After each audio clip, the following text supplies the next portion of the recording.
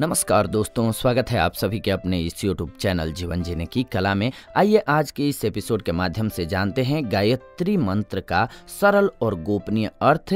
हिंदी में वो भी खास आपके लिए ये प्रस्तुति है, जो कि आप सभी को अवश्य पसंद आएगी। तो प्रेम से बोलिए एक बार ओम भूर्भुवस्व तत्सवितुर्वरेण्यम भर्गो देवस्य धीमहि धियो यो न प्रचोदयात। अब एपिसोड को आगे बढ़ाते हैं।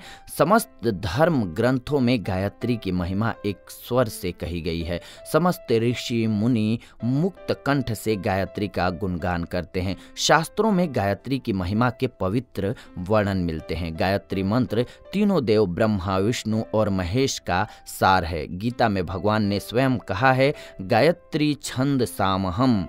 अर्थात गायत्री मंत्र, मैं स्वयं ही हूँ। जी हाँ गायत्री मंत्र, अर्थ सहित आज आपको हम बताते हैं, इसकी व्याख्या करते हैं। जो मंत्र है, वो ये है ओम भूर्भुव स्व तत्सवितुर्वरेण्यम भर्गो देवस्य धीमहि धियो यो न प्रचोदयात। ओम परम ब्रह्मा का अभिवाच्य शब्द है। भू भूलोक को बोलते हैं। भुआ अंतरिक्ष लोक को बोलते हैं। स्व यानी कि स्वर्गलोक तह यानी कि परमात्मा अथवा ब्रह्मा, सवितु मतलब कि ईश्वर अथवा सृष्टिकर्ता, वरेण्यम मतलब पूजनीय, भर्ग, यानी कि अज्ञान तथा पाप निवारक, देवस्य, यानी कि यानी कि ज्ञान स्वरूप भगवान का रूप और धीम ही मतलब हम ध्यान करते हैं धियो, यानी कि बुद्धि प्रज्ञा, यो, यानी जो न, यानी कि हमें प्रचोदयात, यानी कि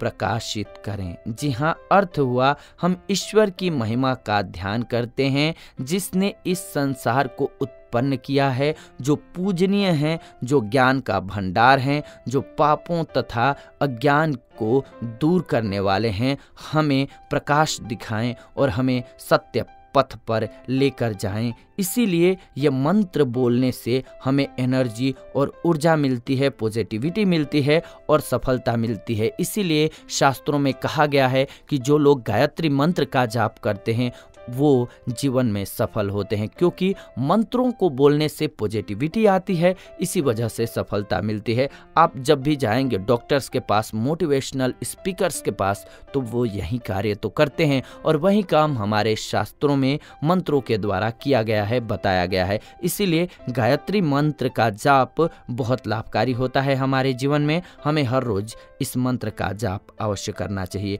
तो ये आज का एपिसोड रहा आप सभी के लिए। कैसा लगा ये एपिसोड आप सभी अपनी प्रतिक्रिया अवश्य दें, क्योंकि आपकी प्रतिक्रिया हमारे लिए बहुत वैल्यूएबल होती है। साथ ही साथ आपके मन में कोई भी सवाल है तो वो लिख भेजें। हम उन टॉपिक्स पर भी आपके लिए वीडियोज़ अवश्य बनाएँगे। और जाने से पहले आप सभी से एक छोटी सी रिक्वेस्ट है कि आप सभी चैनल को सब्सक्राइब करके हमारे साथ जुड़ जाएँ और बेल नोटिफिकेशन को ऑन कर लें, ताकि ऐसी अन्य नई जानकारी जब भी हम लेकर के आए नोटिफिकेशन आप सभी को सबसे पहले मिले।